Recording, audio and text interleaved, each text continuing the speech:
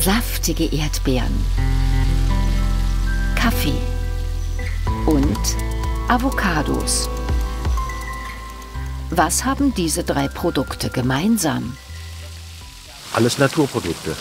Die kommen nicht aus der Region, die vielleicht. Das bestimmt nicht. Dass es gut schmeckt. Das sind Lebensmittel. ja, gut. Also regional ist es auch nicht, weil da, da passen die Avocados nicht rein. Keine Ahnung, ich weiß es nicht. Die Antwort, um sie herzustellen, braucht man Wasser. Viel Wasser. Genauso wie bei Milch, Eiern, Fleisch, Tomaten und Reis. Je wasserintensiver diese Produkte sind, die wir konsumieren, desto äh, größer wird natürlich unser Wasserfußabdruck. Und dementsprechend können wir das auch ein bisschen als Konsument äh, steuern, äh, wie groß unser individueller Fußabdruck dann ist. An der Universität Twente forscht Dr. Laura Wöhler zu unserem indirekten Wasserverbrauch. Und der hat den größten Anteil am sogenannten Wasserfußabdruck. Zum Wasserfußabdruck zählt zuerst natürlich das Wasser, das wir direkt verbrauchen, also zu trinken, kochen, Wäsche waschen, für die Klospülung oder zur Körperpflege. In Deutschland sind das pro Person und Tag rund 130 Liter. Doch Wasser steckt auch in unseren Lebensmitteln, Kleidungsstücken, Mikrochips, Autos und Computern. Dieser indirekte Wasserverbrauch ist noch viel höher. Er liegt bei rund 7200 Litern pro Person und Tag. Den größten Anteil daran hat die Landwirtschaft. Nur, worin steckt am meisten Wasser? Also genau. Avocado braucht auf jeden Fall sehr viel, das weiß ich. Würde ich jetzt spontan auf den Reis tippen. Kaffee ist bestimmt auch nicht ohne. Bei allen drei Produkten ist der Wassereinsatz groß. Während Avocados in der Produktion rund 1000 Liter Wasser pro Kilogramm verbrauchen, sind es beim Reis etwa 2500 Liter. Und in einem Kilogramm Kaffeebohnen stecken ungefähr 21.000 Liter Wasser, jeweils im globalen Durchschnitt. Boah, das ist krass. Aber ist Kaffeetrinken deshalb eine Umweltsünde? Nicht generell, denn es kommt auf seine Herkunft an. Das sind oft tropische Regionen, in denen es einfach viel regnet und dadurch ist das per se nicht schlecht und dann kann man das äh, ruhig weiter konsumieren. Denn Wasser ist nicht gleich Wasser. In Kaffeebohnen zum Beispiel steckt vor allem sogenanntes grünes Wasser. Vereinfacht gesagt ist das Regenwasser. Es steht den Kaffeepflanzen auf natürliche Weise zur Verfügung, besonders im Hochland. Fachleute halten einen hohen grünen Wasserverbrauch in der Regel für unproblematisch. Anders sieht es aus, wenn Pflanzen künstlich bewässert werden. Dafür kommt sogenanntes blaues Wasser zum Einsatz. Blaues Wasser stammt aus Seen, Flüssen oder dem Grundwasser. Durch die Bewässerung fehlt dieses Wasser an anderer Stelle. Beispiel Erdbeeren. Für ein Kilogramm braucht es im Schnitt 300 Liter Wasser. Ah, die brauchen nur 300 Liter. Das ist ja gut. Ja, aber nur, wenn für die Herstellung bloß Regenwasser genutzt wird, wie bei vielen deutschen Erdbeeren. Doch viele unserer Supermarkterdbeeren stammen aus dem trockenen Südspanien.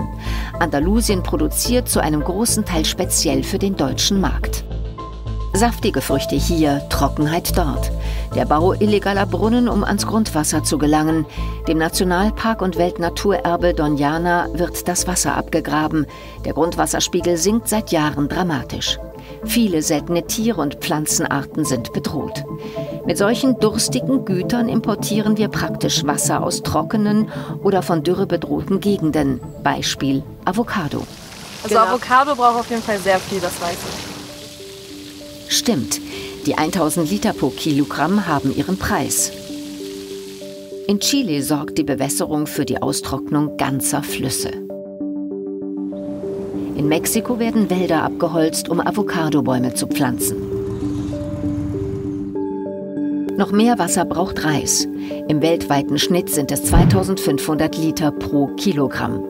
Im Hauptanbaugebiet Asien werden Reisfelder meist dauerhaft geflutet. Das kann den Wasserbedarf sogar noch erheblich steigern. Bei Verbraucherinnen und Verbrauchern wirft das Fragen auf.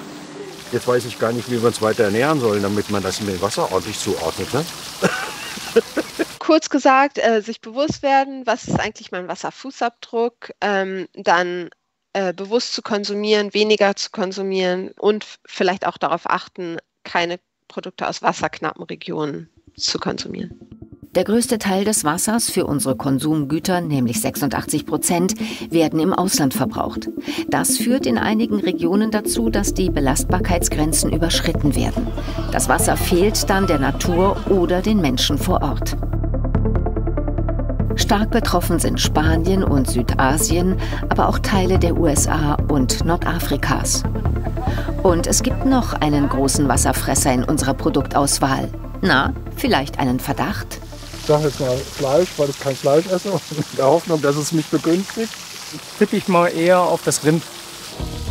Richtig, bei der Fleischproduktion kommt oft besonders viel Wasser zum Einsatz. Hinter einem Kilogramm Rindfleisch verbergen sich gut 15.000 Liter Wasserverbrauch im weltweiten Schnitt. Aber wo ist das Problem, wenn sich ein Rind vorwiegend von Gras ernährt? So eine reine Weidehaltung ist nicht so wasserintensiv, aber global gesehen die Ausnahme. Futterpflanzen für die Tiere wie Soja dagegen brauchen viel Wasser. Wenn man die Pflanzen direkt verzehren würde, wäre das deutlich effizienter und würde viel Wasser sparen. Sehr durstig sind auch andere tierische Produkte. 1000 Liter Wasser für einen Liter Milch. Eier 3300 Liter pro Kilogramm. Gemüse schneidet in der Regel besser ab. Tomaten etwa mit 215 Litern pro Kilo, jeweils im globalen Schnitt ganz grundsätzlich können wir sagen, dass bei äh, tierischen Lebensmitteln der Wasserfußabdruck ähm, sehr viel höher liegt als bei den meisten pflanzlichen ähm, Lebensmitteln. Und so kann man das schon dann ein bisschen steuern. Also den Konsum mancher exotischer und tierischer Produkte möglichst reduzieren und regional und saisonal einkaufen. So lässt sich der Wasserfußabdruck verkleinern.